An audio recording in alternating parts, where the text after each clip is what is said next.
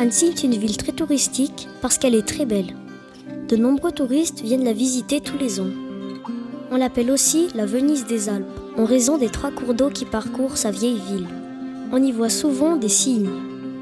Le château des ducs de Savoie domine la vieille ville. Il a été construit entre le XIIe et le XVIe siècle. Il fut la résidence des comtes de Genève. Aujourd'hui, c'est un musée.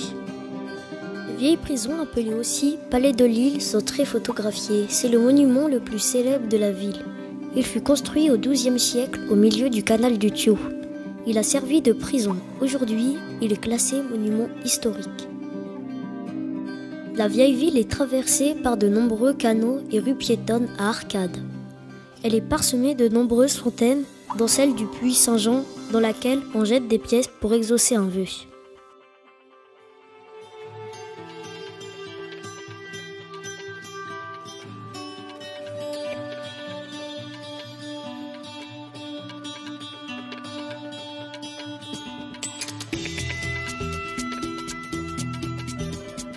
À Annecy, nous avons de grandes étendues pour jouer au bord du lac. Le plus grand s'appelle le paquet. On peut se promener, jouer, faire du sport dessus.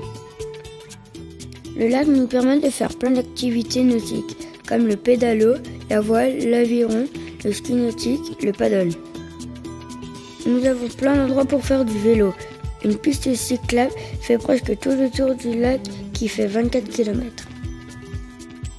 L'été, nous pouvons nous baigner dans le lac ou sur les plages. Celle d'Annecy s'appelle les plages de Marquisat ou d'Albini. La plage nous permet de pique-niquer, de bronzer, de jouer. Il y a toujours beaucoup de monde l'été. L'hiver commence parfois dès le mois de novembre avec les premières chutes de neige.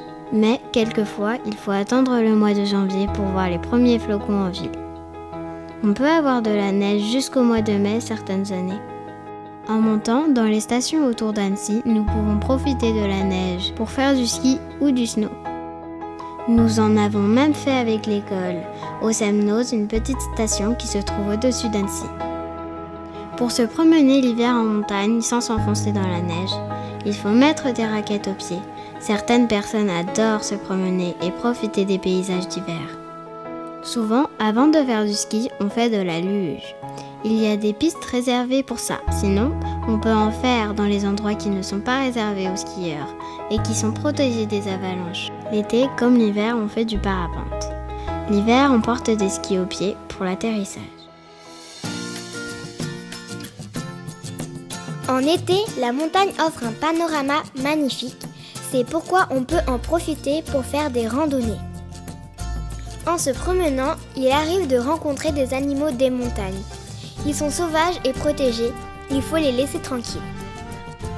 Dans notre région, on rencontre plusieurs endroits avec des gorges au milieu des montagnes. À côté d'Annecy, nous avons les gorges du Fier. Après quelques heures de marche, nous nous arrêtons pour nous reposer et pique-niquer en profitant du paysage. Certaines installations prévues pour les skieurs l'hiver fonctionnent aussi l'été. Et on peut prendre des téléphériques ou des télésièges qui nous montent très haut.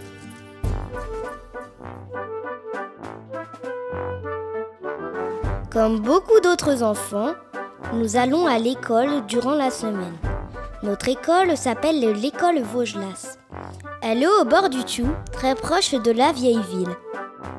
Nos cours commencent à 8h45. Quand la cloche sonne, nous devons nous ranger et notre maîtresse vient nous chercher. Voici notre classe. Nous participons aux leçons en levant le doigt et en écoutant la maîtresse. Nous avons deux récréations par jour. Nous adorons quand la cour est enneigée, mais cela n'arrive que quelques jours par an. La sortie a lieu à 16h, mais certains enfants restent au périscolaire en attendant que leurs parents viennent les chercher.